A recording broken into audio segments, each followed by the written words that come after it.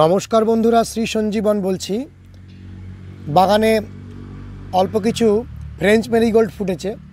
দেখুন কি সুন্দর ফুলগুলি। সুদূর মেক্সিকো দেশ থেকে আসা এই গাছটি আজকে সারা পৃথিবীতে ছড়িয়ে গেছে এবং শীতের ফুলের মধ্যে আমাদের দেশে অতি জনপ্রিয় এবং অতি সহজে করা যায় বলে প্রায় সকল বাগানই এই ফুলটিকে করেন। প্রচুর ভ্যারাইটি পাওয়া যায়। কমসে কম দশটি রক- রকমের কালার আপনি ফ্রেঞ্চ মেরিগোল্ডে পাবেন। যেহেতু এটি এফ ওয়ান হাইব্রিড সিড নয় সেই জন্য অতি সহজে এই বীজগুলোকে প্রিজার্ভ করেও আপনি একই রকমের ফুল পেতে পারেন। আর এই বীজগুলো খুব সহজে অল্প দামে কিনতে পাওয়া যায়। এই বীজগুলো নিজেরা বাড়িতে ফেলে আপনারা নিজেরাই এইভাবে পুরো গাছটি লাগিয়ে সম্পূর্ণ ফুল পেতে পারেন। নার্সারি থেকে চারা কিনে আনাও খুব সহজ। তিন থেকে চার টাকা দামের মধ্যে এই গাছের চারাগুলো পাওয়া যায়। দেখুন কি মিষ্টি আর কি বড় বড় জাতগুলো ফুটেছে। এটি তো বেশ ভালো লাগছে আমার। আমাদের কাছে আপাতত তিনটে ভ্যারাইটিই ফুটেছে। আশা করব শীতের মধ্যে আরও অন্যান্য ভ্যারাইটিগুলো আমি লাগিয়েছি ওগুলো ফুটতে থাকবে।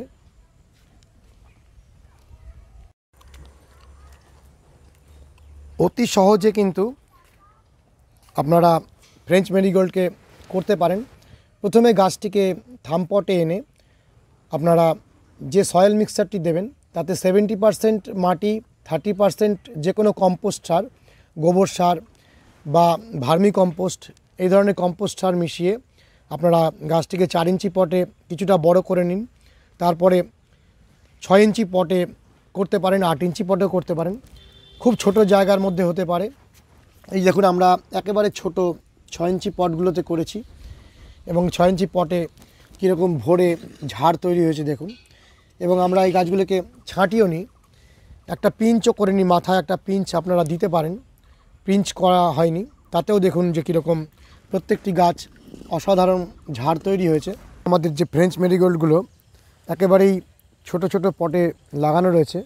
আপনারা ঠিক এই গাছগুলোকে যদি এরকম ছোট পটে লাগান, তাহলে তো লাগাতেই পারেন। কিন্তু যদি মনে হয় যে আরও বেশি পরিমাণে ফুল নেব, আরও বড় ঝাড় তৈরি করব, তাহলে এই পটটিতে যখন কুড়িটি আসতে শুরু করবে, ঠিক তার আগেই আরেকটি বড় পটে মিনিমাম আট ইঞ্চি পটে বা দশ ইঞ্চি পটে আপনারা দিতে পারেন।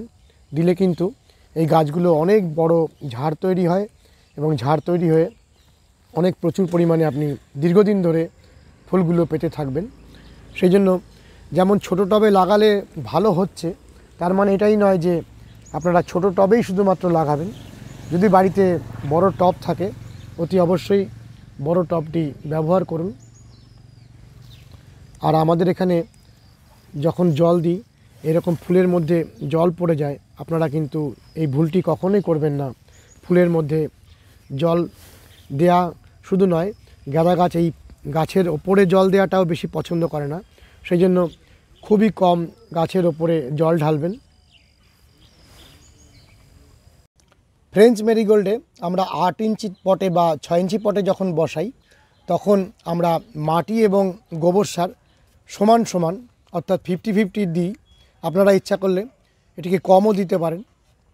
সিক্সটি ফর্টি বা সেভেন্টি থার্টি যেরকমই আপনারা মাটি করেন, করুন না কেন, এই গাছটি আপনাদের কাছে এরকমই ফুল দেবে। কোনো পার্থক্য আপনারা বুঝতে পারবেন না। আমরা যেহেতু গাঁদা গাছে একটু বেশি পরিমাণে গোবর সার জাতীয় সারগুলোকে বেশি ব্যবহার করি সেই জন্য আমরা এক টব মাটি এবং এক টব ভার্মি কম্পোস্ট এই হিসাবে মাটিগুলো বানিয়ে গাছগুলো বসিয়ে দিয়েছি। তারপরে আর সেরকম খুব ভালো যত্নের কিছু ব্যাপার ছিল না। গাছগুলো রাখাই ছিল। মাঝে মাঝে একটু শস্যের খোল, পচা জল দু একবার পড়েছে। দেখুন তাতেই কি অসম্ভব ঝাড়যুক্ত গাছগুলো তৈরি হয়েছে। শীতের বাগানে এই সমস্ত ফুলগুলোর শোভা সকালবেলাটিকে একেবারে মনোরম করে তোলে।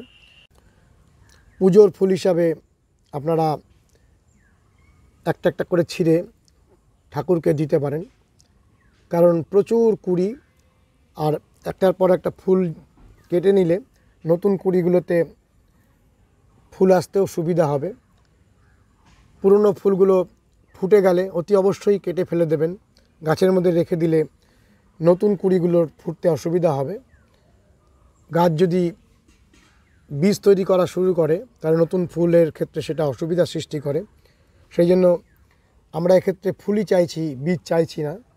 আমরা যখনই ফুলটির একটু দাগ এসে যাবে, নষ্ট হতে শুরু করবে, সঙ্গে সঙ্গে কেটে ফেলে দেবো বা তার আগেই আমরা পুজোর কাজে ব্যবহার করে ফেলব। আর এই ফ্রেঞ্চ মেরিগোল্ডের মধ্যে একটা পোকা নাশক কিছু ব্যাপার আছে, একটা গন্ধ সেই জন্য আপনাদের বলব যে খুব একটা কীটনাশক দেওয়ার প্রয়োজন নেই। আমরা তো কোনো কীটনাশকই দিইনি। দেখুন, তাতেই কি সুন্দর ফুল এসেছে। কোনো পোকা লাগেই নি এই পুরো লাইফ সাইকেলটার মধ্যে আমরা একবারও কোনো কীটনাশক ব্যবহার করিনি। বিভিন্ন রকম নাম রয়েছে ভ্যারাইটিগুলির। আমরা আজকে আর নামের মধ্যে যাচ্ছি না।